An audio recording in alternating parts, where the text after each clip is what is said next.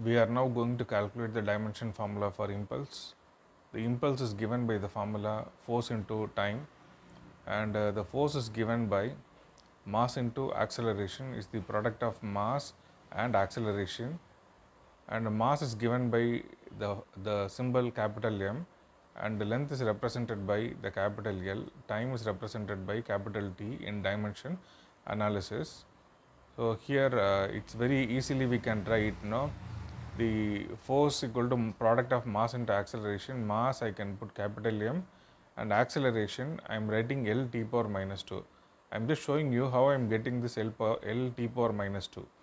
So, velocity equal to displacement by time that we know and displacement is uh, can be can be uh, it's nothing but the length and with the direction. So, and uh, the length will come here. So, capital L and that is divided by the time capital T and it is can be taken t power 1 if you bring it to the top it will be t power minus 1. So, L t power minus 1 is the dimension formula for the velocity. And then acceleration that is the rate of change of uh, velocity that is velocity by time. And first am substituting the dimension formula for velocity from the previous calculation L t power minus 1 divided by the capital T with the dimension bracket. And if you bring it to the top and I am getting L t power minus 2. So, the force uh, is the product of mass and acceleration mass it is written as capital M and acceleration is L t power minus 2 and the combination represents force.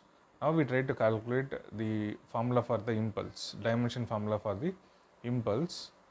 Force I have calculated it to be m l t power minus 2 with the dimension bracket and multiplied with the time. So, again one uh, t I am introducing.